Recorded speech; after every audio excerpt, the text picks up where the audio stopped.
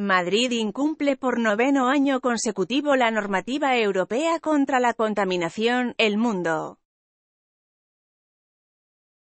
Desde que empezó el año, Madrid ha tenido activado todos los días el protocolo por los altos niveles de polución en la ciudad que también se registraron durante la semana de Navidad pese al poco tráfico existente.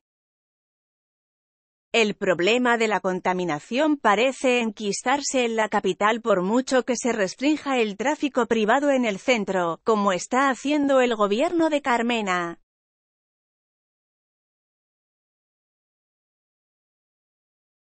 Y en Madrid, el año pasado superaron este límite 7 de las 24 estaciones de la red de vigilancia de la calidad del aire con las que cuenta el ayuntamiento.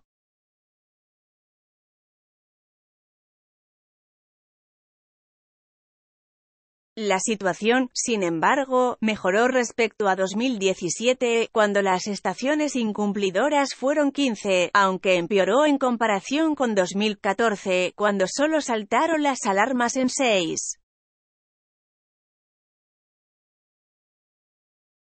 O sea, que la mejora es respecto a los tres años anteriores y no a 2010 como dijo recientemente la portavoz del gobierno, Rita Maestre. Además, las actuaciones vinculadas a potenciar el transporte público municipal no se han visto reflejadas en un aumento significativo de su uso.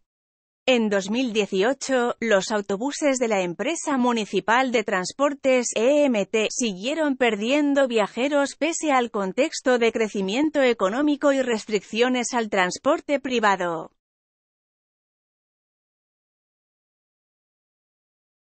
El año pasado perdieron casi un 2% de pasajeros, según los datos facilitados ayer jueves por la propia compañía. EMT transportó a 420,2 millones de viajeros, por debajo de los 428 millones de pasajeros del año 2017, que ya registró un descenso del 0,16% respecto a 2016. Pese al incremento en el uso del transporte público que se está produciendo en Madrid, los autobuses municipales no consiguen captar más clientes.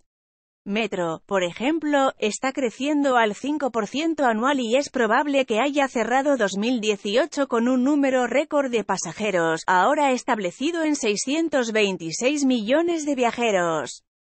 CS ya denunció en el pleno de julio la caída de viajeros, que su edil Sergio Bravezo achacaba a la baja velocidad de los autobuses, la baja regularidad y la falta de puntualidad.